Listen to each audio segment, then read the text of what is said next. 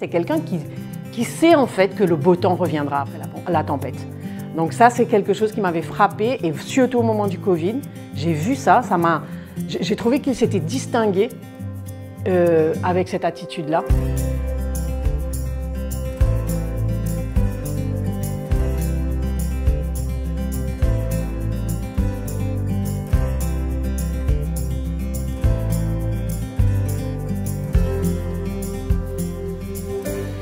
Venu Hector depuis, ben, je suis arrivé à mon désert allemand en 97. Donc ça va faire presque 15 ans cette année. Moi, je travaille avec toi depuis 13 ans. Inga a 31 ans. Euh, un an et demi aujourd'hui. Moi, ce que j'ai appris du leadership d'Hector, c'est surtout l'importance d'être vraiment committed dans son travail. Il a toujours pris soin de toujours regarder le, le big picture. Franchement, euh, il est très simple, il, il est très abordable, donc franchement, euh, il met à l'aise directement. Et après, Et surtout, aller viser le résultat. J'ai peut-être appris à être moins impulsive, à vraiment analyser, quand je l'écoute analyser une situation, ouais. Ça m'a appris de ouais, prendre un peu du recul de temps en temps, de ne pas réagir trop, trop à chaud, disons, dans, dans les situations de la vie en général.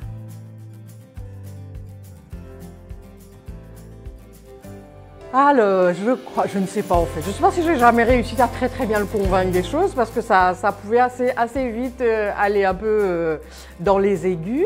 Non, non, non, je ne crois pas. Pas la sensation d'avoir réussi à le convaincre euh, de quoi que ce soit.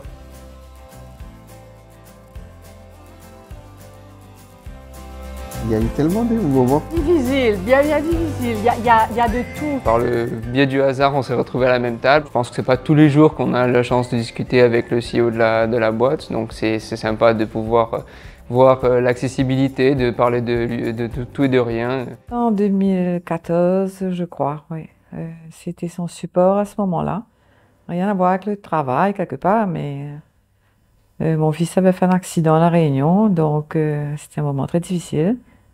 Je suis partie en catastrophe et euh, il m'a appelé tous les jours, il me demandait des nouvelles, comment il pouvait m'aider. Euh, ouais, vraiment, ça, c'est un souvenir très très fort jusqu'aujourd'hui, je n'oublie pas.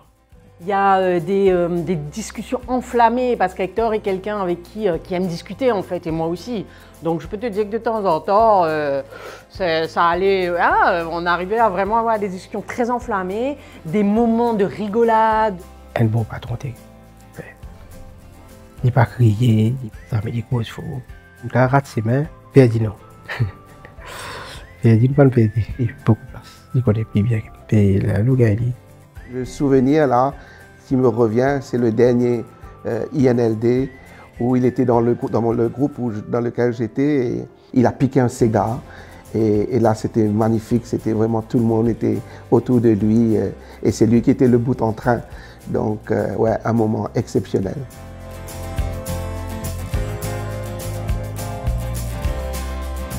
Alors, si Hector était une chanson, moi je dirais Les feuilles mortes de Yves Montand. Et, euh, et pour moi, les deux chansons pour moi d'Hector, c'est Let It Be des Beatles et également Ne me quitte pas de Jacques Brel.